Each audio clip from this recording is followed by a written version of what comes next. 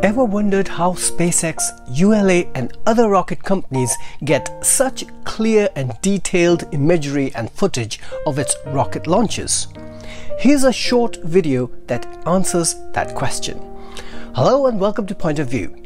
Those of us space exploration fans who have been following the launches for a while now will be well accustomed to seeing incredible camera shots like this. While we've been watching dramatic footage of rocket launches over the years, those opening minutes showing the rocket blasting towards space at breakneck speed with a trail of plumes behind requires some pretty powerful technology to achieve those awesome shots. The setup includes high definition video and film cameras that use an array of focal lengths for different kinds of shots. With a rocket moving at over 3000 miles an hour or 5000 kilometers an hour at a distance of perhaps 37 miles or 60 kilometers away from the camera, it can be very difficult to get clear footage that tracks the rocket through its flight. You'd need a focal length of about 10,000 millimeters to fill the frame with a 70 meter high rocket from this distance. Not only that, the camera needs to track in perfect sync with the rocket itself. The smallest movements by the camera would result in huge shakes and wobbles in ultra zoomed in footage from that 10,000mm lens. So what's the answer? Well, the launch pads are all surrounded by specialist tracking cameras that were originally designed to track missiles for the military. These super high detailed shots provide a great spectacle during the launch procedure, stage separation, and in the case of SpaceX, the awe-inspiring Falcon 9 landings. But how are we able to get these amazing shots? Here we're going to dive in and look at what makes a shot like this so difficult in the first place. We're also going to look at the equipment that's used.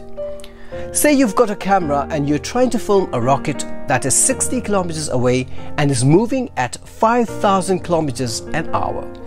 Firstly, a standard telephoto lens will only have a maximum focal length of around 1000 millimeters.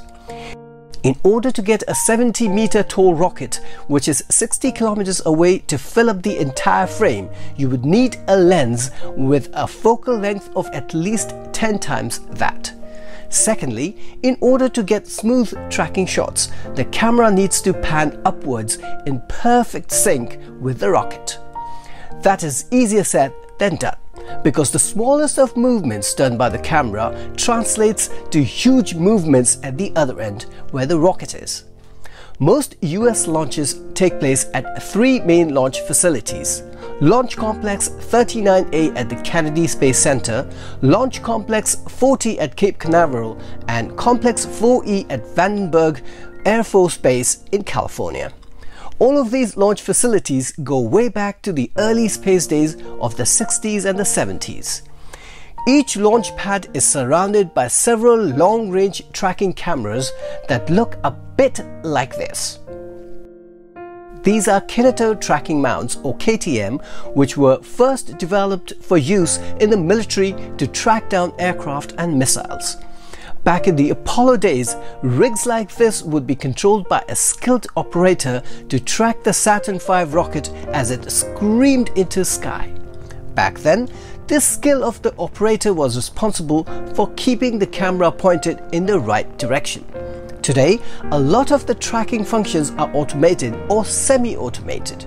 These kineto mounts can easily be controlled remotely by an operator at mission control. They can also take just about any camera you can imagine and become the world's most expensive tripod. Rocket companies use these tracking cameras to provide great coverage of their launches, but these expensive cameras are also used to analyze their rockets as they go through the most difficult parts of their missions. NASA uses a mix of digital and film cameras on these mounts. The short-range tracking cameras make use of high-speed frame rates and shutter speeds which are useful for rocket companies to analyze their rockets in great detail during the launch sequence. They also make use of some infrared temperature cameras to measure the heat of the spacecraft as it burns through the atmosphere on re-entry. Cameras like these have played an important role in disaster investigations.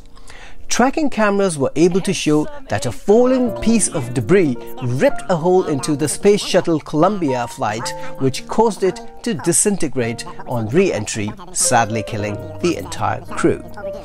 NASA reviewed the footage and put new procedures in place to ensure that the shuttle was safe to re-enter the Earth's atmosphere. NASA has some film cameras placed around their launch sites loaded with over 1000 feet of film each.